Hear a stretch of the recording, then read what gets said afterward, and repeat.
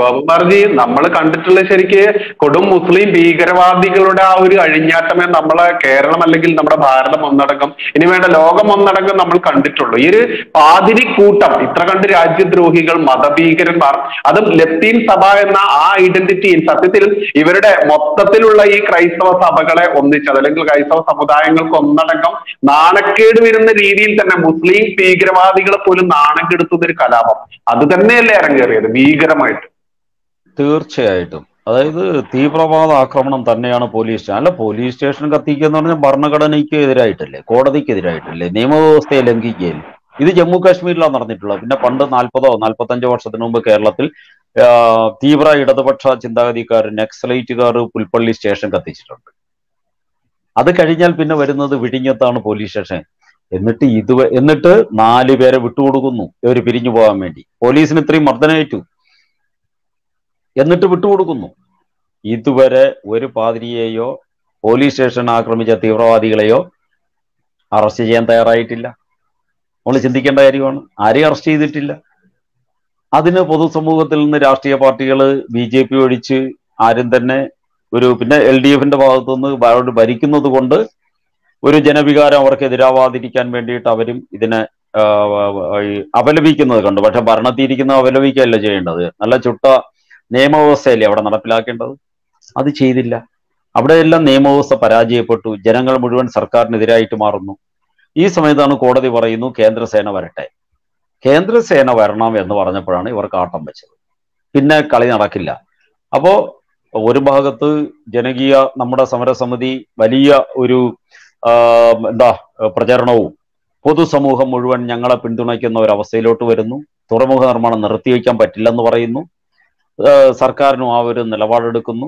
അവസാനം സമാധാന സന്ദേശവുമായിട്ട് ശാന്തിഗിരിയിലെയും അതേപടി തന്നെ അവരുടെ തന്നെ ബിഷപ്പും പിന്നെ മറ്റു പല ക്രൈസ്തവ പുരോഹിതന്മാര് മുസ്ലിം പുരോഹിതന്മാരൊക്കെ വന്നിട്ട് സമാധാന സന്ദേശമായിട്ട് വരുന്നു. അവ ആദ്യം ലത്തീൻകാരുടെ സമരപ്പന്തൽ സന്ദർശിക്കുന്നു. അടുത്ത് നമ്മുടെ സമരപ്പന്തൽ വന്നിട്ട് നിങ്ങൾ പറയുന്നതാണ് ശരി. ഇവിടെ തുറമുഖം വരണം. നിർമ്മാണം തടസ്സപ്പെടുത്താൻ പാടില്ല. നിങ്ങൾ പറയുന്ന കാര്യങ്ങൾ ഇതുവരെ ഞങ്ങൾക്ക് അറിഞ്ഞുകൂടെയായിരുന്നു ഇതുവരെ ആരും നിങ്ങളെ ശ്രദ്ധിക്കപ്പെട്ടില്ല. അപ്പോൾ ഇപ്പൊ ഞങ്ങൾക്ക് മനസ്സിലായി. അതുകൊണ്ട് നിങ്ങളുടെ ഈ സത്യാഗ്രഹത്തിന് ഞങ്ങൾ ഐക്യദാർഢ്യം പ്രഖ്യാപിക്കുന്നു എന്ന് ഈ ഇവരുടെ തന്നെ മുൻ ബിഷപ്പായിട്ടുള്ള സൂസഭാഗ്യത്തിന്റെ എല്ലാം കൂടെ നമ്മുടെ സമരപ്പന്തലിൽ ഐക്യദാർഢ്യം പ്രഖ്യാപിച്ചുകൊണ്ട് അവർ ഇരിക്കുന്ന ഒരു സാഹചര്യമാണ് നമുക്ക് പിന്നീട് കാണാൻ കഴിഞ്ഞത്. ഇതിന്റെ അർത്ഥം ഞങ്ങൾ പറഞ്ഞതാണ് ശരി. സർക്കാർ ഞങ്ങൾ പറഞ്ഞതാണ് ശരി എന്ന് പറഞ്ഞിട്ട് അത് നടപ്പിലായി. ഇവർ വലിയ വലിയ മോഹങ്ങളൊക്കെ ആയിരുന്നു സ്വപ്നം കണ്ടിരുന്നത്. പക്ഷെ ഞങ്ങളുടെ ഈ പ്രവർത്തനം കാരണം അവർക്കതിന് കഴിഞ്ഞില്ല. അതിലും ചില ചരിത്രപരമായിട്ടുള്ള ചില സംഗതികൾ കൂടി നമ്മൾ ചിന്തിക്കേണ്ടതുണ്ട്. ഒന്ന് ഇവർ നിരവധി വികസന പ്രവർത്തനങ്ങളെ ഇതേവിടെ തടഞ്ഞിട്ടുണ്ട്. നിരവധി വികസന പ്രവർത്തനങ്ങൾ ഒന്നാമതായിട്ട് പറയാൻ പറ്റുന്നത് ഒറീസയിലെ പോസ്കോ കമ്പനി. ആ പോസ്കോ കമ്പനി സ്റ്റീൽ ഉൽപാദനമാണ് ആ സ്റ്റീൽ ലോകരാജ്യങ്ങളിൽ ഏറ്റവും കൂടുതൽ കയറ്റുമതി ചെയ്യുന്നത് ചൈനയാണ്. അപ്പോൾ ആ സ്ഥാപനത്തിനെതിരായിട്ട് സമരം ചെയ്ത് അൻപതിനായിരം കോടി രൂപയുടെ പ്രോജക്റ്റ് ആയിരുന്നു. അവർ അയ്യായിരം കോടി രൂപ വരെ മുടക്കി കഴിഞ്ഞപ്പോൾ ആ സ്ഥാപനത്തിനെതിരായിട്ട് സമരം ചെയ്യുന്നു. ആ സ്ഥാപനം പൂട്ടിപ്പോയി. അതൊരു കൊറിയൻ കമ്പനിയായിരുന്നു അതായത് ഇന്ത്യയിൽ സ്വയം പര്യാപ്തതയിലേക്ക് സ്റ്റീൽ നിർമ്മാണം എത്തുന്നതിലേക്ക് വേണ്ടി നമുക്ക് ആവശ്യമുള്ള മുഴുവൻ സ്റ്റീലും ഇവിടെ ഉൽപ്പാദിപ്പിക്കുക എന്നതായിരുന്നു ആ കമ്പനിയുടെ ലക്ഷ്യം. അതിന് കേന്ദ്ര സർക്കാർ നടപടിയെടുത്തതായിരുന്നു. പക്ഷെ അതിനെ പൂട്ടി. അത് കഴിഞ്ഞു വരുന്നത് തൂത്തുക്കുടിയിൽ വേദാന്തം കോപ്പർ സ്റ്റെർലൈറ്റ് കമ്പനി. ഇവർ ചെയ്യുന്നത് കോപ്പർ ഇതിന്റെ സംഗതിയാണ്. ലോകത്തിൽ ഏറ്റവും കൂടുതൽ കോപ്പർ കയറ്റുമതി ചെയ്യുന്നത് ചൈനയാണ്. ഇന്ത്യ അതിന്റെ ഒരു ഉപഭോക്തൃ രാജ്യമാണ്. അപ്പോൾ ആ കമ്പനി പൂട്ടുന്നു. ലത്തീൻകാർ സമരം ചെയ്യുന്നു വെടിവയ്പ് ഉണ്ടാവുന്നു പതിനാലായിരത്തി അഞ്ഞൂറ് കോടി രൂപ അവിടെ മുടതൽ മുടക്കിയ ആ സ്ഥാപനം പൂർണമായും പൂട്ടിപ്പോയി. അത് കഴിഞ്ഞ് അടുത്ത് വരുന്നത് കൂടംകുളം ആണവ നിലയമാണ്. ഈ ആണവ താപ വൈദ്യുത നിലയം.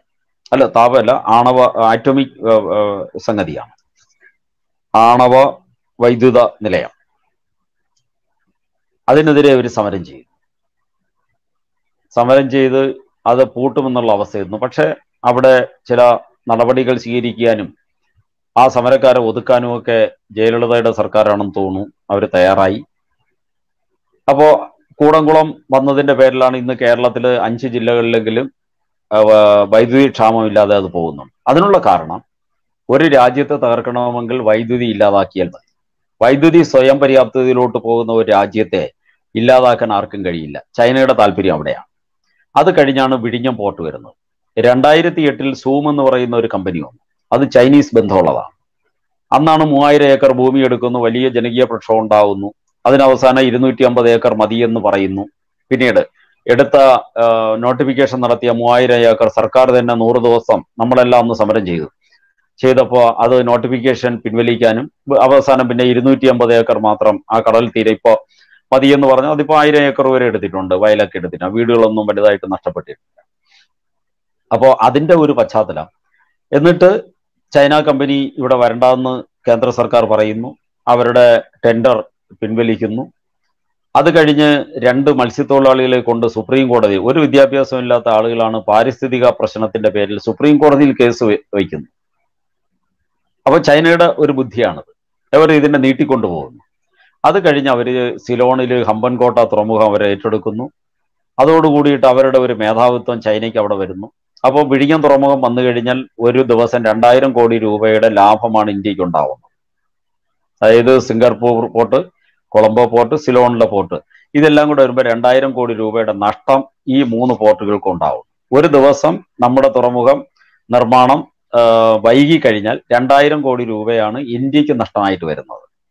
അപ്പോൾ അവിടെയുള്ള ചൈനയുടെ ആ ബന്ധം നമുക്ക് മനസ്സിലാവും.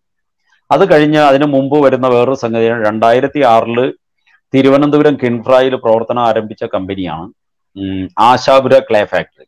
അതിൽ അറുന്നൂറ്റമ്പതോളം പേര് ജോലി ചെയ്തിരുന്നു. അപ്പോൾ ചൈന ക്ലേ ബന്ധങ്ങൾ നമുക്കറിയാമല്ലോ.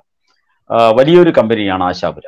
അവരുടെ ആ കമ്പനിയെ ലബ്രിയൻ യേശു എന്ന് പറയുന്ന ഇവിടെയും അയാൾ സമരത്തിനുണ്ട്. മത്സ്യത്തൊഴിലാളികളെ ഇളക്കി വിട്ട് ഇരുന്നൂറ് കോടി രൂപ അന്ന് രണ്ടായിരത്തി ആറിൽ മുടക്കി തുടങ്ങിയ ആ സ്ഥാപനത്തെ രണ്ടായിരത്തി എട്ടിൽ കത്തിക്കുന്നു.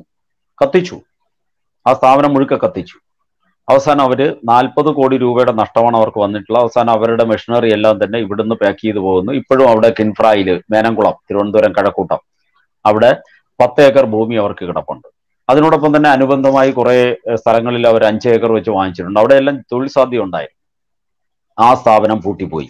അതിന് ലോകത്തിലെ എല്ലാവർക്കും കൂടെ ഒരു അയ്യായിരത്തോളം ആൾക്കാർ അവരുടെ കമ്പനികളിൽ ജോലി ചെയ്യുന്നുണ്ട്. അങ്ങനെയുള്ള അതും ചൈനയുടെ ബന്ധം നമുക്ക് മനസ്സിലാവുന്നുണ്ട്. അപ്പോൾ ഇതേപടിയുള്ള വികസന പ്രവർത്തനങ്ങളെയും രാജ്യത്തിന് ഗുണകരമായിട്ട് വരുന്ന എല്ലാത്തിനെയും ഇവർ സമരം ചെയ്ത് ചെറുക്കുന്നു. ഇതിന്റെ പുറകിലെല്ലാം തന്നെ ഈ സമരങ്ങളുടെ എല്ലാം ഗുണഭോക്താക്കളായിട്ട് വരേണ്ടത് ചൈനയാണ്. കാരണം ഇതെല്ലാം നശിപ്പിച്ചു കഴിഞ്ഞാൽ അതിന്റെ ഗുണം ചൈനയ്ക്കാണ്. അതാണ് വിഴിഞ്ഞം പോർട്ടിലും സംഭവിച്ചിട്ടുള്ളത്. ഈ ചൈന ബന്ധം ഇപ്പോഴും ഉണ്ട്. ഇനി ഇപ്പോഴവരെ വിലക്കെടുത്തിരിക്കുന്നു എന്നുള്ളതിന് ഒരു സംശയവും വേണ്ട. പക്ഷെ അവസാനത്തെ ആർജവുമുള്ള ഒരു കേന്ദ്ര സർക്കാരുണ്ട്. കോടതി വ്യക്തമായിട്ട് കേന്ദ്രസേന ഇറങ്ങട്ടെ എന്ന് പറഞ്ഞു കഴിഞ്ഞാൽ ഇവരുടെ പണി പൂട്ടിപ്പോവും.